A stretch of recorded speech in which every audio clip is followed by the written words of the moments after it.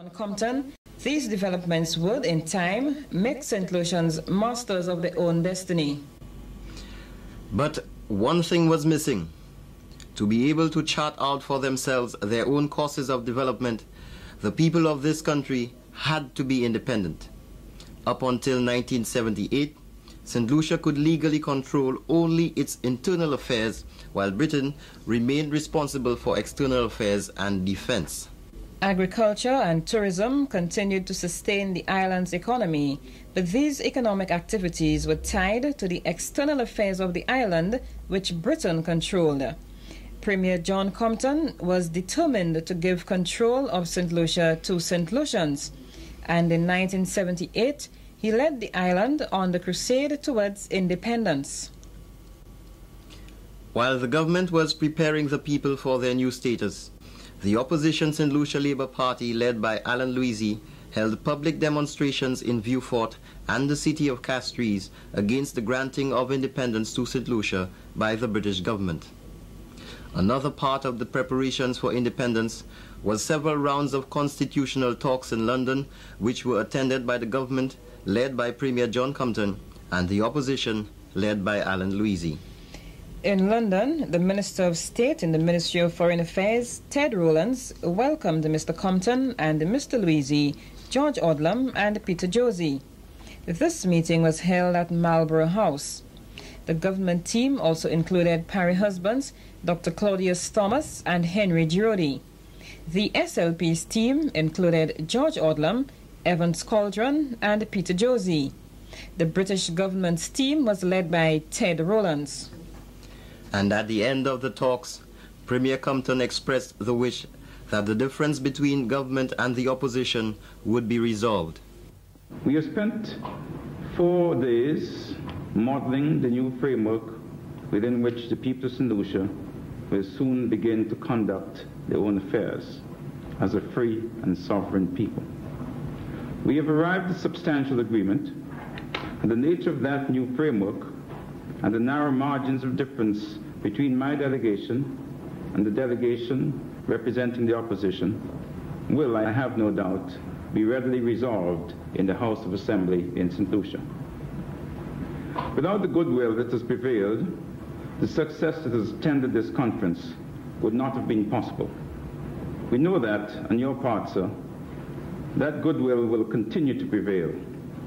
And while we are aware that the impending recess of your Parliament and the conditions that may obtain after it reconvenes will crucially affect the timing of St. Lucia's transition, we know that you will bend every effort, as you've assured us, to clear the way to permit the people of St. Lucia to enter into sovereign nationhood on their National Day, December 13, 1978. And Mr. Louisy, for his part, told the conference of his wish for basic protection in the new constitution for the people of St. Lucia. It is clear that the policy of the British government is to grant independence to associated states as soon as is reasonably practicable. But even in achieving desirable goals, it is vital that the method of achieving these goals are plausible, legitimate, and that guiding principles are adhered to. In the course of the conference, my delegation has ins insisted on some basic provisions for the protection of the people. Some were accepted, but others were rejected. We will then endeavor, however, to draw such provisions to the attention of the people of St. Lucia in the months that lie ahead. And the British Minister Ted Rowlands also gave his views on the outcome of the conference. The constitution which has emerged is a very good one. As I said at the beginning of the conference, the constitution cannot guarantee a democracy. Only the political will of people can ensure uh, that work, that real democracy survives. But a constitution can provide an, uh, a framework for and a buttress of a democratic system. This conference, I think, has ensured that. We've devoted considerable time on chapter, on, to the chapter on protection for rights and freedoms of the individual. We've also ensured in this constitution the maintenance of the rule of law. I think we also mustn't underestimate the amount of real significant change which has been both proposed and accepted to the original draft constitution from which we started. They're a tribute, in my view, to uh, the very constructive approach of the opposition at this conference and to the spirit of compromise conducted by the Premier and, and, and, and his delegation. As the talks ended, Mr. Compton, speaking to newsmen, described the talks as successful. I think it was successful beyond our expectation.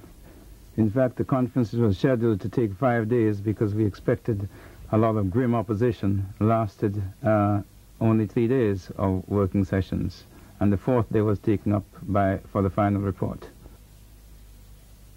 As the news of the outcome of the talks reached home, St. Lucians from all walks of life made their way to Hewanorra International Airport at Vieux Fort to salute Premier Compton, whom they had dubbed the father of the nation. SLP supporters were also at the airport, not to meet their leader, but to register their protest. And then came December 14th, 1978. The news out of London that day was that the House of Lords had passed the St. Lucia Termination of Association Order, thus paving the way for an independent St. Lucia on February 22nd, 1979. Here is Alva Clark in London with the good news. Uh, the House of Lords approved the draft order of the St. Lucia termination uh, of association, uh, and in a short half-hour debate, uh, all the lords wished St. Lucia well uh, in the independence uh, in February. the order was introduced on behalf of the government by Lord Goronwy Roberts, who is a Minister of State at the Foreign and Commonwealth Office. It was welcomed by the Conservative Party, uh, that's the opposition, by Lord Elton, and on behalf of the Liberal Party by Lord McNair. Uh, and a number of lords spoke in a debate that only lasted uh, half an hour. It wasn't a debate in that sense. With just two months to go, all systems were working in full swing, transforming the House of Assembly.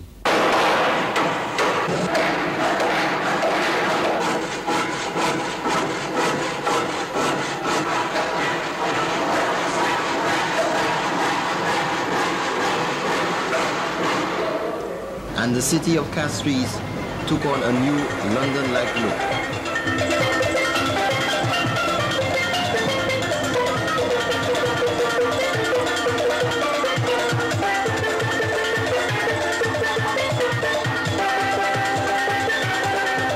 With preparations finally at an end and just two more days to go, Premier Compton was on radio and television addressing St. Lucians after the police had used tear gas on striking public servants.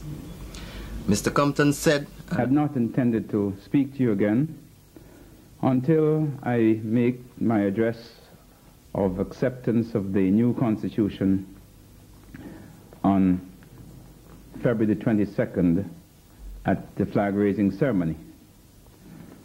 But certain matters have now come to hand, which I think is important for me to discuss with you and to bring you up to date with the situation. All of us who live in St. Lucia know that for several years now, since we indicated that it was the government's intention to seek independence for St. Lucia, certain elements in our society who have been very vocal have been trying to frustrate or at least to delay St. Lucia's march to freedom. They've tried everything. They've tried delaying tactics and procrastination. They've tried intimidation. intimidation. They've resorted to violence. And all these things have failed. Our country, like any mother, is going through the pains of birth. But when her labors are over, we all shall rejoice at the birth of our nation.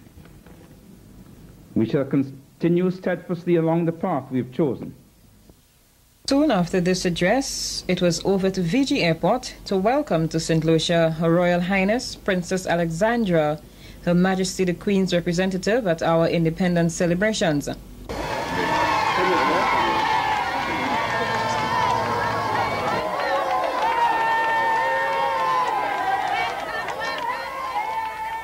And with just one day to go, Premier Compton said that St. Lucia was looking forward to using its independence as a tool for our development.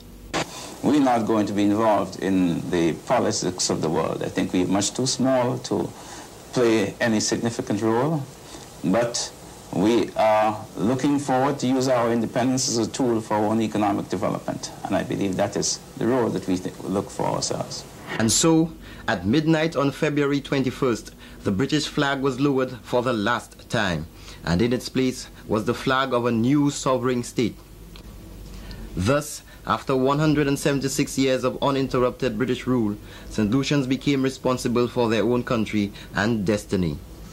On February 22, 1979, the island's first Prime Minister, John Compton, took the oath of office along with Mrs. Heraldine Rock, the First Lady Cabinet Minister, and Mr. Parry Husbands, the first Attorney General to be appointed.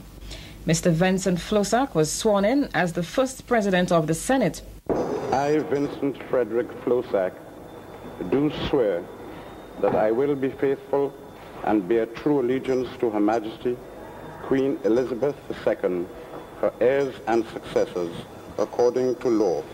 So help me God.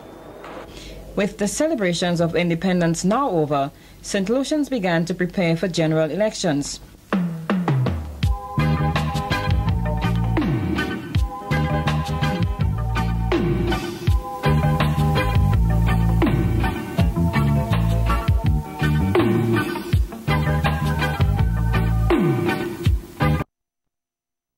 Election of 1979 was held on July 2nd.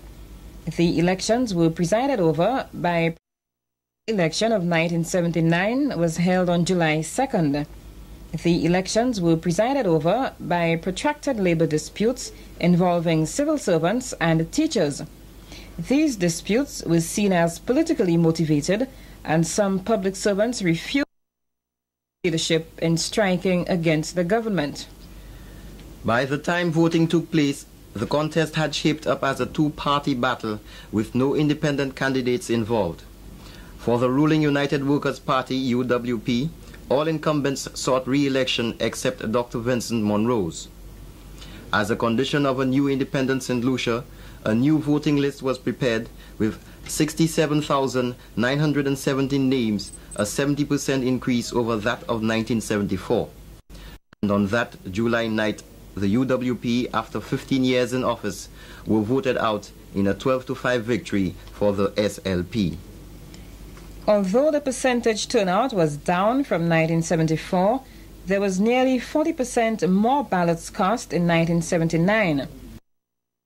Despite the magnitude of the SLP victory, UWP candidates actually polled more than 2,000 votes in excess of the 1974 total. Following the election, Prime Minister Louisy and all of the victorious members of his party traveled to Government House for a swearing-in ceremony. Peter Josie, Winston Cenac, Evans Calderon, Michael Pilgrim, Bruce Williams,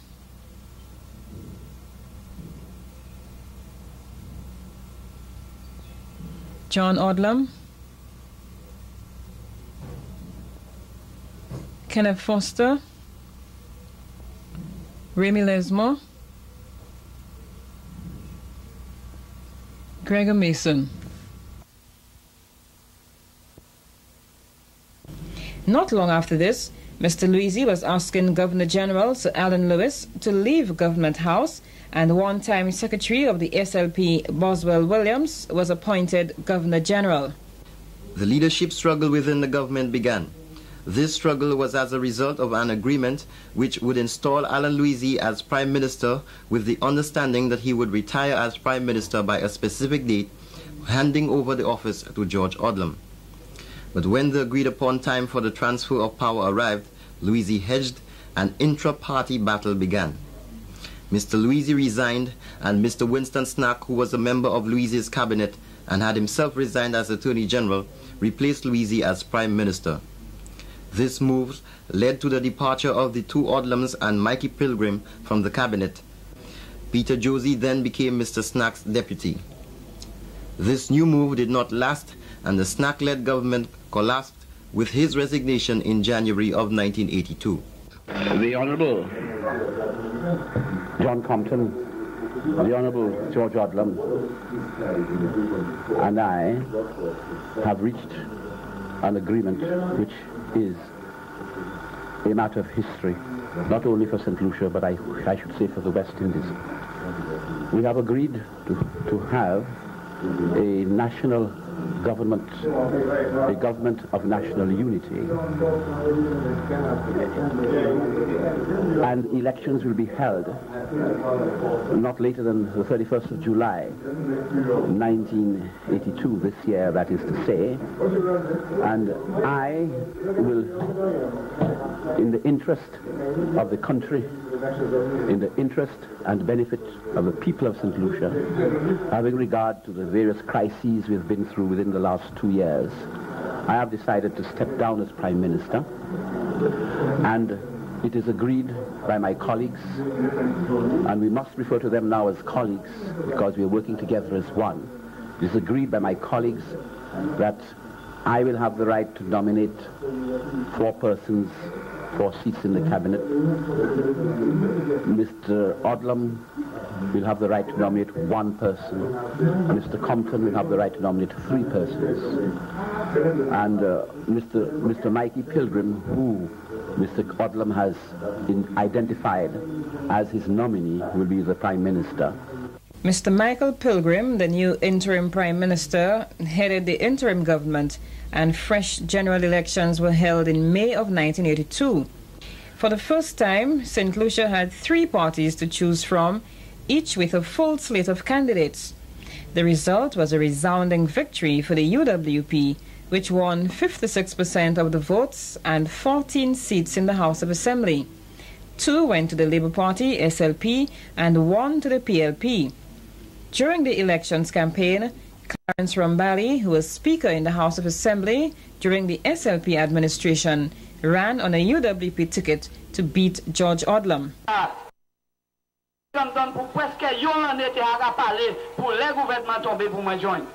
The new administration of John Compton, on returning to office, set about consulting St. Lucians on a national plan. But why a national plan? A nation needs a plan as a ship needs a compass. We want to know where we are at any point in time, where we want to go, and how we shall get there. As a nation, we need to know what we have, what the tools available for us in the employment for our development. What are our present resources? What are the prospects of supplementing these resources? And how best we should employ these resources to obtain the maximum benefit, to give our people a better and fuller life. In short, an inventory of our resources tells us where we are at any point in time. Thus, we need to decide, not merely as a government, but as a people, where we want to go, what direction our nation should take to achieve the goals we have set before us, what resources we should employ in every sector of the economy, to achieve these goals.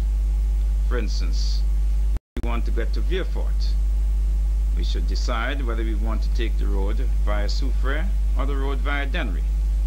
Similarly, if we want to achieve the maximum economic growth, we must first know how much money we have and how much we would allocate, for instance, to agriculture, to education, to tourism, to industry, in this day and age, this age of science and technology, we must decide what direction we should guide our children. Should we develop the field of science and technology, Or should we continue as we've been doing in arts and general sciences? In agriculture, what are the markets available? And therefore what crops we should produce? And how best we should produce them? And in what area of St. Lucia can these crops be best produced?